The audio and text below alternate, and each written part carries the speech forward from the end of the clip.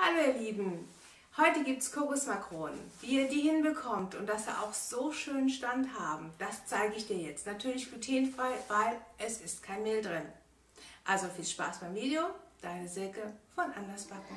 Unsere Zutaten für die Kokosmakronen sind natürlich fein gesiebtes Puderzucker, Salz, also nur eine Prise. Dann brauchen wir Eiweiß, das wir schön steif schlagen und natürlich Kokosraspeln. Da habe ich hier noch ein bisschen ähm, Obladen liegen. Wer möchte, kann nachher mit Obladen arbeiten, aber das müsst ihr nicht unbedingt, ihr könnt es auch so aufs Backblech setzen. Wir starten jetzt damit, dass wir das Eiweiß mit dem Salz zusammen steif schlagen und anschließend das Puderzucker und zum Schluss die Kokosraspen dazugeben.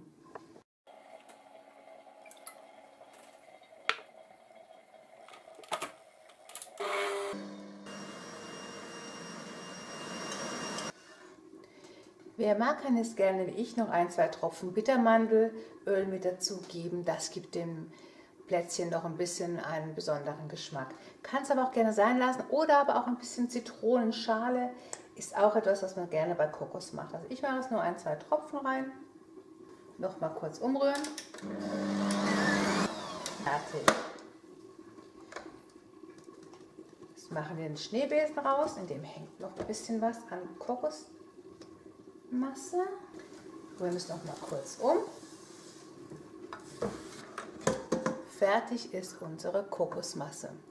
Und die werden wir nun schön auf dem Plätzchen verteilen. Dazu habe ich mir ein Backblech mit Backpapier ausgelegt und lege nun meine Obladen drauf. Wie gesagt, wenn ihr keine Obladen drunter haben möchtet, könnt ihr es auch gerne lassen und könnt es direkt aufs Backblech machen, auf Backpapier. Der Backofen ist auf 150 Grad vorgeheizt. Dazu nehme ich meinen Löffel, nehme mir ein Stück Masse raus, gebe die auf den Löffel drauf, so viel wie ich mir vorstelle, dass auf eine Oblade passt und setze sie einfach hier drauf.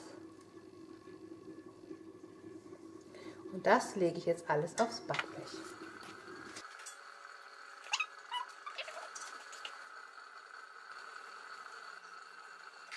Das Ganze verschwindet jetzt im Backofen bei 150 Grad vorgeheizt auf Ober- und Unterhitze.